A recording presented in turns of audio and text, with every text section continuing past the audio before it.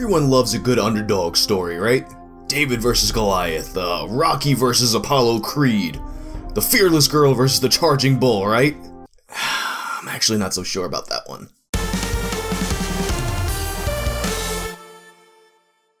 For those of you who don't know, there's a bit of a controversy over a statue known as the Fearless Girl.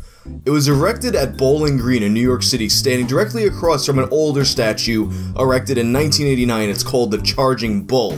Without any context, it might seem like this statue is just another tale of an underdog story. A little girl just boldly standing there, staring down a bull with her hands on her hips, strong posture as if to say, uh, fuck you, bull, I ain't taking your shit. Clearly, this is just an empowering message for young girls in today's society, right? I mean, if you couldn't get behind that, clearly it must be because you fucking hate women, right? Well, that's what usually happens with people who get outraged over things on the internet without doing the slightest bit of research. People actually are interpreting the backlash to this as, oh, I fucking hate women. And I'm sure there are some dudes who are fucking idiots and are just like, yeah, fuck women, the statue's dumb, I hate it, without doing any research themselves, but once you actually look into this thing, the whole thing fucking falls apart. The statue's been there for about a month or so, but what's reignited the controversy about it is that the artist behind the Charging Bull, Arturo Di Modica, has begun a campaign to get rid of the Fearless Girl. He argues that the placement of the Fearless Girl depends on his bull statue and it completely vilifies it and changes the context to something that he never intended. See, what this bull is intended to represent is the strength of America, particularly in the financial sense. And once you know that, the whole symbolism of the Fearless Girl completely fucking falls apart. I mean, at that point, what are you really saying? That, um, feminism is the enemy of financial prosperity? That, uh, we value shallow feelings of empowerment over things that are actually useful in the practical real world?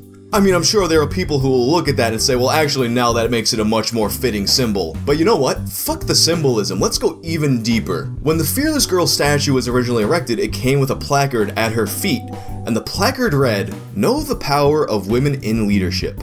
She makes a difference. State Street Global Advisors.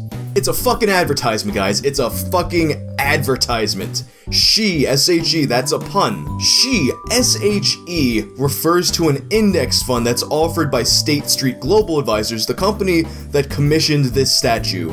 It's a fucking advertisement, but let's go even deeper than that. What does the placard at the girl's feet say? Once again, know the power of women in leadership. Right? Well, guess what? We can take a look at the State Street Global Advisors website and see who their fucking leadership is.